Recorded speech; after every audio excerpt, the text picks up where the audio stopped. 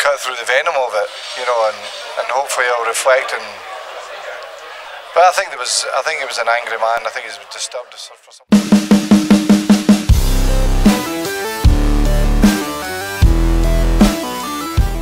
Jelang pertandingan antara Timnas Indonesia dan Australia di babak kualifikasi Piala Dunia 2026 putaran ketiga. Salah satu tokoh sepak bola terkenal yang turut memberikan pandangannya adalah Alex Ferguson, mantan pelatih legendaris Manchester United dan ikon sepak bola dunia. Dalam pernyataannya, Alex Ferguson mengungkapkan keyakinannya bahwa timnas Indonesia akan menyulitkan Australia dalam laga penting tersebut. Bagi Alex Ferguson, performa Indonesia yang sedang dalam tren positif menjadi salah satu alasan mengapa skuad Garuda akan menjadi lawan berat bagi Australia. Di laga pertama kualifikasi, timnas Indonesia sukses mencuri poin berharga dengan hasil imbang 1-1 saat bertandang ke markas Arab Saudi. Hasil tersebut memberikan dorongan moral bagi Indonesia untuk melanjutkan momentum positif, apalagi kali ini mereka akan tampil di kandang sendiri, Stadion Gelora Bung Karno. Sebaliknya, Australia tengah dalam kondisi terpuruk setelah kalah 0-1 dari Bahrain di laga pertama. Kekalahan tersebut membuat mereka menempati posisi kelima klasemen grup C tanpa mengantongi satu pun poin, menambah tekanan pada skuad Australia jelang melawan timnas Indonesia. Dalam situasi ini, Alex Ferguson menyebut bahwa Australia akan kesulitan untuk bangkit di GBK yang dipenuhi puluhan ribu supporter fanatik Indonesia. Australia akan menghadapi tantangan berat di Stadion Gelora Bung Karno. Stadion ini adalah salah satu tempat yang paling menakutkan bagi tim-tim tamu, dan dukungan penuh para supporter Indonesia bisa menjadi faktor besar yang menyulitkan Australia. Alex Ferguson menekankan bahwa kekuatan supporter timnas Indonesia di GBK, dengan kapasitas lebih dari 60.000 penonton, sering kali membuat lawan tertekan. Kondisi ini akan semakin menyulitkan Australia, terutama setelah mereka kalah di laga pembuka. Menurut Alex Ferguson, tekanan yang diberikan oleh supporter Indonesia bisa mengganggu fokus para pemain Australia, yang sangat membutuhkan kemenangan untuk memperbaiki posisi mereka di klasemen. Para pemain Australia harus siap menghadapi lingkungan yang tidak bersahabat. Dukungan luar biasa dari para pendukung Indonesia bisa menjadi faktor pembeda di pertandingan ini. Di laga-laga seperti ini, atmosfer stadion memainkan peran penting, dan Gelora Bung Karno bisa membuat lawan merasa tidak nyaman. Bahkan mantan pelatih yang telah memenangkan 38 berbagai trofi bergengsi seperti 13 gelar Liga Primer, 5 piala FA, dan 2 gelar Liga Champions UEFA. Ini mengakui bahwa skuad Garuda telah banyak berkembang, terutama setelah mendapat hasil positif melawan Arab Saudi. Menurutnya, Indonesia kini memiliki kombinasi pemain muda berbakat dan pemain naturalisasi berpengalaman yang bisa memberikan ancaman serius bagi Australia. Indonesia sedang dalam performa yang bagus, mereka menunjukkan semangat juang tinggi di laga melawan Arab Saudi.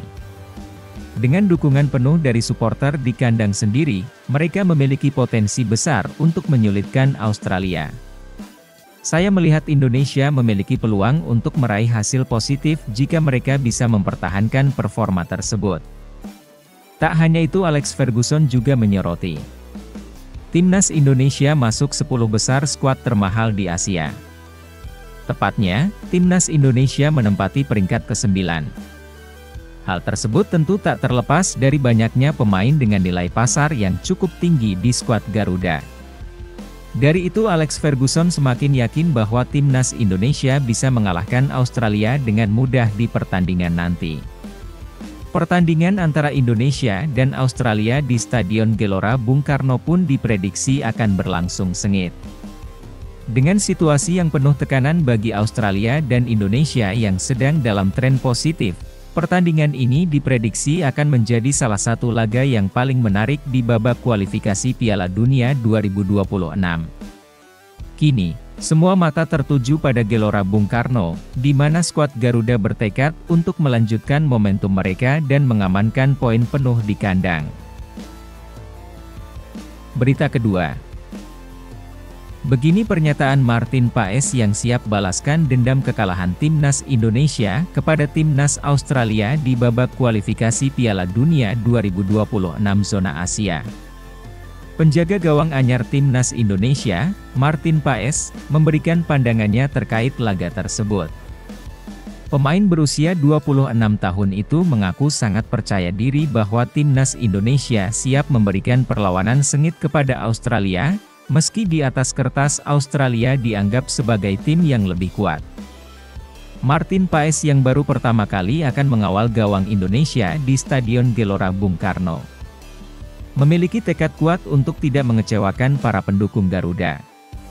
Menyadari pentingnya pertandingan tersebut, Martin Paes ingin memastikan bahwa dia dan timnya akan tampil maksimal untuk membalas kekalahan yang sempat dialami Indonesia dari Australia di pertemuan sebelumnya. Saya sangat percaya bahwa timnas Indonesia akan menunjukkan perlawanan yang kuat saat melawan Australia. Kami berada dalam kondisi yang bagus dan siap tempur.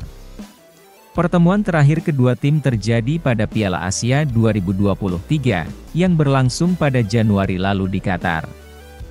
Dalam laga itu, Indonesia harus menelan kekalahan telak 0-4 dari Australia, hasil yang menjadi catatan buruk bagi skuad Garuda.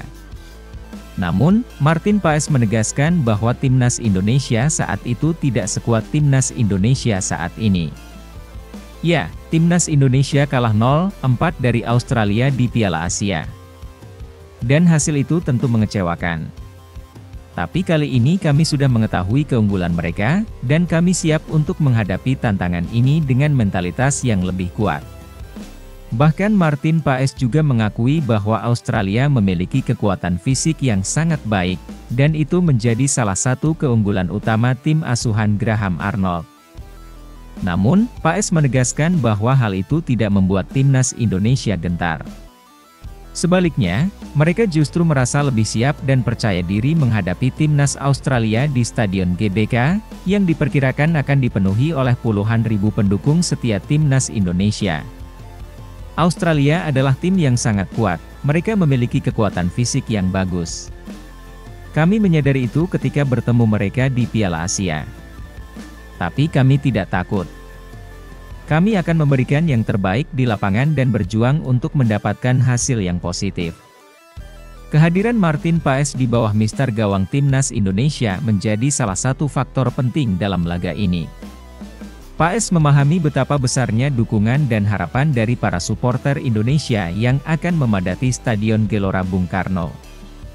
Sebagai pemain yang baru pertama kali merasakan atmosfer GBK dalam laga internasional, ia bertekad untuk tampil maksimal dan memberikan performa terbaiknya demi tidak mengecewakan para supporter. Ini adalah pertama kalinya saya akan bermain di Stadion Gelora Bung Karno, dan saya tidak ingin mengecewakan para supporter. Dukungan mereka sangat penting bagi kami, dan saya akan berjuang bersama tim untuk membalas kepercayaan yang telah diberikan. Dengan situasi yang berbeda dari pertemuan sebelumnya, timnas Indonesia kini berada dalam tren positif setelah berhasil meraih hasil imbang 1-1 di markas Arab Saudi pada pertandingan pertama kualifikasi. Sementara itu, Australia justru tengah dalam kondisi kurang baik setelah kalah 0-1 dari Bahrain di laga perdana. Kondisi ini membuat Paes semakin optimis bahwa Indonesia punya peluang besar untuk meraih poin penuh di kandang. Di sisi lain, penjaga gawang Australia, Matthew Ryan, juga memberikan komentar soal skuad timnas Indonesia yang lebih kuat saat ini dibandingkan di Piala Asia kemarin. Penjaga gawang Australia, Matthew Ryan, memberikan komentar soal pengaruh Belanda yang sangat kuat di timnas Indonesia. Matthew Ryan menyadari perkembangan yang terjadi di skuad timnas Indonesia. Pemain berusia 32 tahun ini mengakui kuatnya pengaruh Belanda di timnas Indonesia saat ini. Pemain-pemain yang menyusul datang semakin mengonfirmasi bahwa timnas Indonesia keranjingan Belanda. Banyak pemain keturunan yang merumput di Liga Belanda dinaturalisasi untuk menjadi warga negara Indonesia. Kami mengakui bahwa di pertandingan nanti, timnas Indonesia saat ini lebih kuat.